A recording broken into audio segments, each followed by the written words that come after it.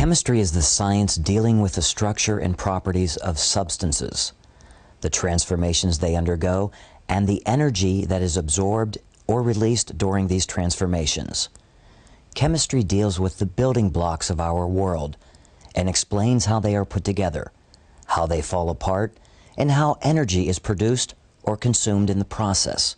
We study chemistry, for example, to find out how water is formed out of hydrogen and oxygen, and why metal rusts in the winter. So what do chemists do? We can break their activities up into three basic categories. Chemists explain phenomena, showing how and why things happen. Chemists analyze substances to determine their chemical makeup.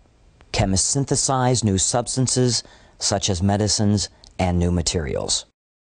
In this course module, we will focus on a specific case study, arsenic contamination in the drinking water in Bangladesh. We will see how chemists are helping address this problem, which is a serious health issue affecting millions of people. Chemistry is often referred to as the central science, since it links both physics and biology and plays a critical role in medicine and engineering.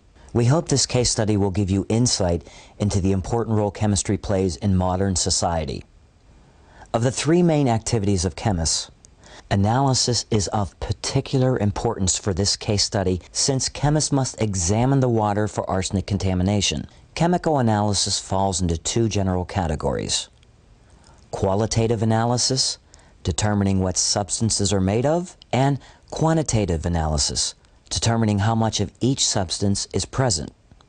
Below you'll see how chemists use qualitative analysis to determine the form arsenic takes in the drinking water.